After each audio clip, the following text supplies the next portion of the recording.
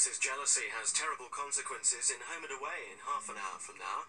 First, with the time approaching midday, it's 5 News.